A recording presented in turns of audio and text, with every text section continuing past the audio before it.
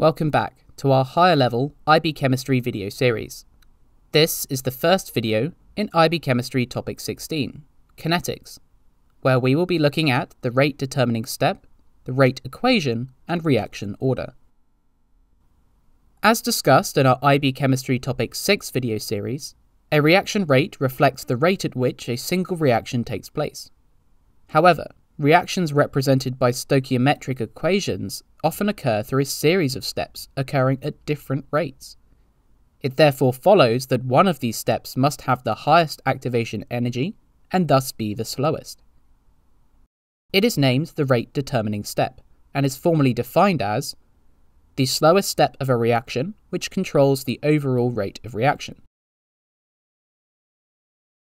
So, what is a rate equation, and how does this relate? Well, a rate equation is a formula used to determine the rate of a reaction at a specific temperature, based on the concentrations of the reactants within. It is written as rate equals K times reactant 1 times reactant 2, and so on, where K stands for the rate constant. There are two crucial points to understand with respect to the rate equation. K is only constant at a certain temperature and so it changes with temperature. And the rate equation only includes the concentrations of the reactants up to and including the rate determining step. An important relationship exists between the concentration of a reactant and the overall rate of reaction. This is termed the order of a reactant. A reactant can have one of four orders zero order, first order, second order, and third order.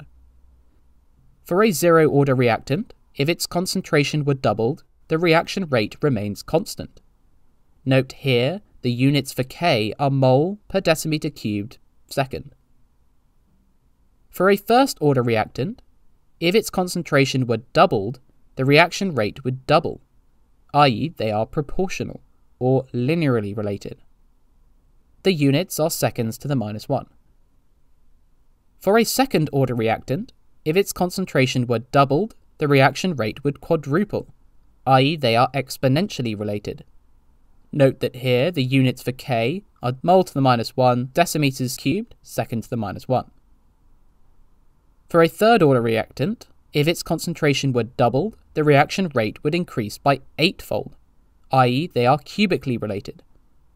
These do not come up much, so don't focus on them.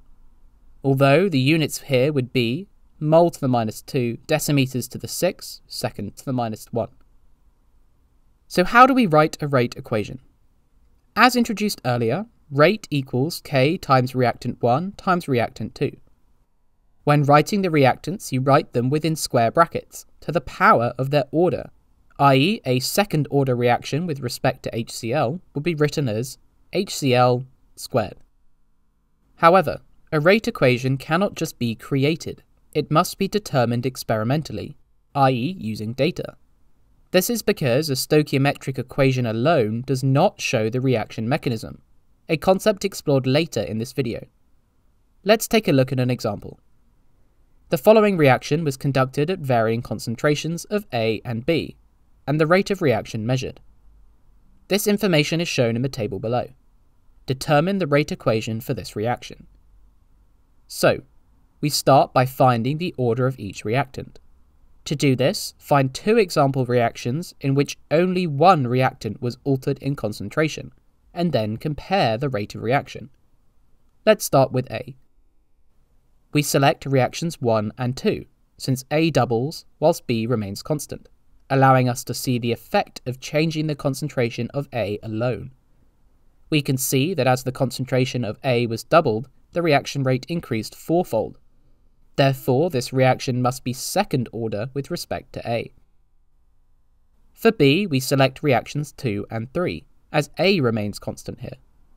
We can see that as the concentration was doubled, the reaction rate remained constant. Therefore, this reaction must be zero order with respect to B. The rate expression would therefore be rate equals k a squared b to the zero. It is worth noting that since zero order reactions have no impact on the rate, they are often excluded from the rate expression. so this can also be written as rate equals ka squared. However, the question asks for a rate equation, which means we must calculate the value of k to convert our expression to an equation. This can be done by substituting in the values from one of the reactions to our rate expression and solving for k. So, using the first reaction, we would say 0.2 equals k 0.2 squared, which rearranges to give k as 5. Thus, the rate equation is rate equals 5a squared. You've now reached the end of the preview for this IB Science video. If you want to check out the full video, head over to our website and select a membership plan today.